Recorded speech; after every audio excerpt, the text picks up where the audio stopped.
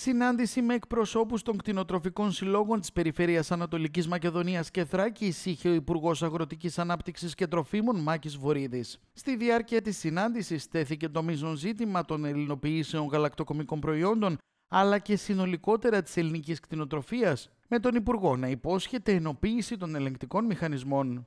Ε, αυτό που συνέβη στην ε, συνάντηση με τον κύριο Βορύτα, ότι υπήρχε μια θετική στάση από, από μέρους του. Φυσικά, ποτέ δεν έχουμε πάει στο Υπουργείο και να υπάρχει αρνητική στάση. Έτσι. Συνήθως έτσι είναι. Απλώς τώρα έχουμε μια καινούργια κυβέρνηση, υποτίθεται υπάρχει μια καινούργια αρχή. Ε, υποτίθεται ότι αυτοί οι άνθρωποι έχουν πάρει κάποιες πρωτοβουλίες σχετικά με το να ελέγξουν τις ελληνοποιήσεις και στην ουσία να βάλουν αυστηρότερα πρόστιμα από ό,τι μας είπε ο Υπουργός. Δηλαδή να υπάρχει ένα νομοθετικό πλαίσιο που στην ουσία θα είναι απογορευτικό στο να προχωρήσει ο άλλος στη διαδικασία να νομιμοποιήσει, να ελληνοποιήσει κάτι το οποίο είναι ε, από έξω. Ιδιαίτερα για τα pop και για τα πηγαία προϊόντα. Κοιτάξτε, αυτό το οποίο κουβεντιάσαμε με τον Υπουργό ήταν στην ουσία ότι υπάρχουν υπηρεσίες οι οποίες φορείς οι οποίοι ελέγχουν, ελεγκτικοί μηχανισμοί, οι οποίοι όμως ένας σχεδόν είναι ανεξάρτητος από τον άλλον. Και αυτό είναι μεγάλο πρόβλημα. Μπορεί, μπορεί η προηγούμενη κυβέρνηση να ε, νομοθέτησε αυστηρότερα, ε, αυστηρότερα πρόστιμα σε σχέση με πριν, αλλά πάλι ο έλεγχος είναι πλημελή, διότι βλέπετε ότι υπάρχουν διάφοροι φορείς που ελέγχουν. Μας είπε ότι θα υπάρξει ενοποίηση των μηχανισμών αυτών, ενώ ταυτόχρονα εμείς το κύριο θέμα στην ουσία που του θέσαμε ήταν το θέμα των συμφωνητικών που ζητάμε να υπάρχει για το γάλα, ε, κάτι το οποίο θα θέσει και σε άλλο επίπεδο διαπραγμάτευση. Δηλαδή αυτή τη στιγμή έχουμε ανοιχτές τιμές στο προϊόν, Κάτι που σημαίνει ότι δεν ξέρεις πόσο πουλάς το προϊόν, περιμένεις από αυτό που το αγοράζει να το τιμολογήσει, αν είναι αυτός ο οποίος ταυτόχρονα το εξετάζει ποιοτικά και το ζυγίζει κιόλας. Δηλαδή στην ουσία τα έχει όλα στο χέρι του. Αν δεν σταματήσει αυτός ο τρόπος συνδιαλλαγής και δεν μπουν ξεκάθαροι όροι συμφωνητικά, στα οποία θα αναγράφεται υποχρεωτικά η, τιμή του προϊόντος, ε, πιστεύω ότι δεν θα αλλάξει κάτι. Και να τελειώσουν οι ελληνοποιήσεις, πάλι θα υπάρχει το πρόβλημα ότι ο κτηνοτρόφος θα είναι σε δυσχερή θέση στο να μπορέσει να διαπραγματευτεί.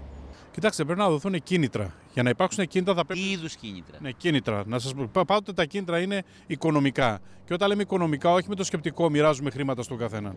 Το σκεπτικό θα πρέπει να είναι πρώτα απ' όλα να αναγεννήσουμε την ελληνική ήπειρο, γιατί γνωρίζουμε το δημογραφικό πρόβλημα που υπάρχει στη χώρα. Αν πάτε στα χωριά, γυρίσετε όλα τα χωριά του νομού Καβάλας, που είναι ένας ε, νομός σχετικά καλό επίπεδο από πλευράς ηλικιακό του ανθρώπου που ζουν στα χωριά, θα δείτε ότι υπάρχουν στην ουσία μόνο συνταξιούχοι.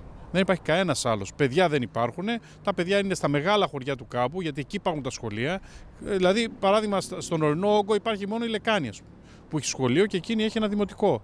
Ε, καταλαβαίνετε ότι είναι τραγική κατάσταση. Αν δεν μπορέσει να δώσουμε κίνητα στον κόσμο να μείνει στα χωριά του και πώς θα μείνει, όταν πρώτα απ' όλα ε, τρέχουν τα προγράμματα με ταχύτητες ιδιωτικού και όχι δημόσιου τομέα. Δηλαδή, γρήγορες διαδικασίες, γρήγορες εγκρίσεις, να υπάρχουν χρηματοδοτικά εργαλεία ώστε να μπορεί ο άλλος να δανειστεί με χαμηλό επιτόκιο για να μπορέσει την επένδυση που θα κάνει να την αποσβέσει κάποια στιγμή.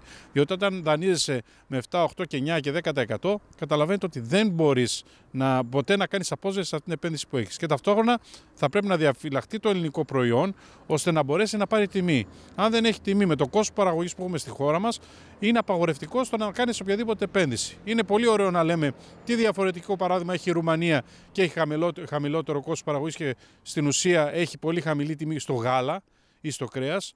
Ε, δείτε το φόρο στη Ρουμανία, δείτε πόσο έχει το πετρέλαιο στη Ρουμανία, δείτε όλα τα υπόλοιπα πώ έχουν στη Ρουμανία. Παράδειγμα είναι η Ρουμανία, έτσι. Ε, δείτε τι απολαμβάνει ο κόσμος στη Ρουμανία από τιμές και θα δείτε ότι καλύτερα να είσαι στη Ρουμανία κτηνοτρόφος παρά να είσαι στην Ελλάδα. Αυτό σημαίνει ότι πρέπει πάρα πολλά πράγματα να αλλάξουν και θα αλλάξουν αν κάποιος ε, ε, βάλει μια σειρά και ένα σχεδιασμό, όχι για ένα και δύο χρόνια, αλλά τουλάχιστον για μια εικοσαετία, για να μπορέσει ε, αυτό που θα σχεδιάσει να υλοποιηθεί 100%.